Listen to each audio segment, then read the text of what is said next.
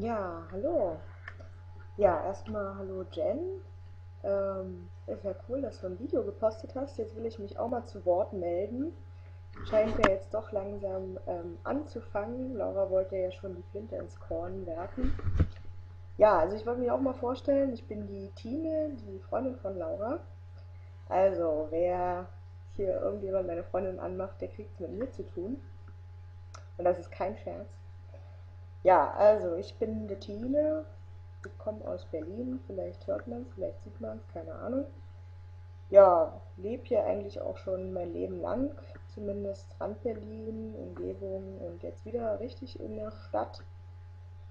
Und ja, hier ist ja auf jeden Fall szenemäßig richtig viel los, kann man bestimmt mal richtig viel darüber berichten, was hier so abgeht.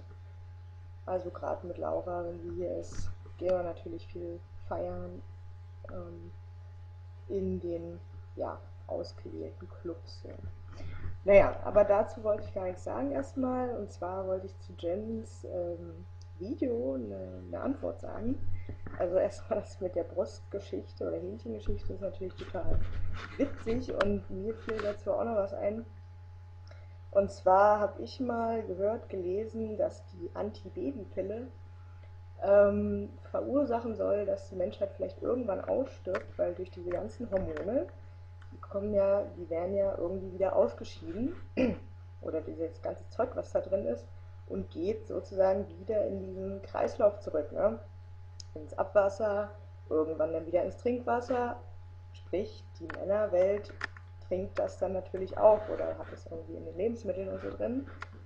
Ähm, Tiere und alles Mögliche. Und daher entsteht sowas wahrscheinlich auch, dass viele, keine Ahnung, vielleicht auch schwule lesbische, ich weiß nicht, ob es jetzt daran liegt unbedingt, aber ähm, könnte eine Theorie sein. Und also die haben schon festgestellt, dass ähm, viele Fische dadurch schon impotent geworden sind und daher keine Nachkommen mehr zeugen können.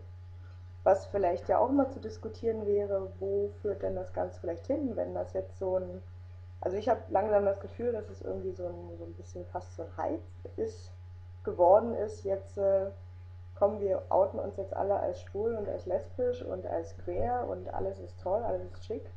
Alle machen wir uns schicke Haare und ziehen tolle Klamotten an und ähm, beschäftigen uns nur noch mit ja, unserem eigenen Geschlecht.